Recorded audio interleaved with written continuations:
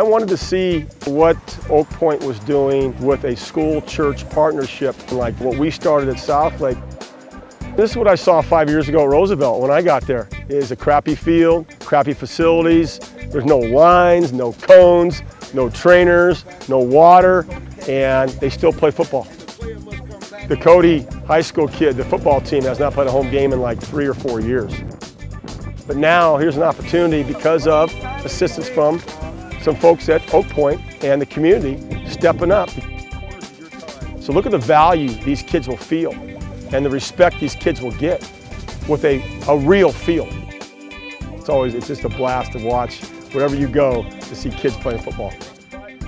Oak Point's making a difference. They're not just coming for one day of service.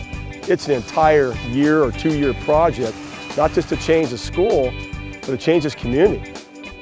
That's impressive, really cool what God's doing in these men and women at Oak Point Church.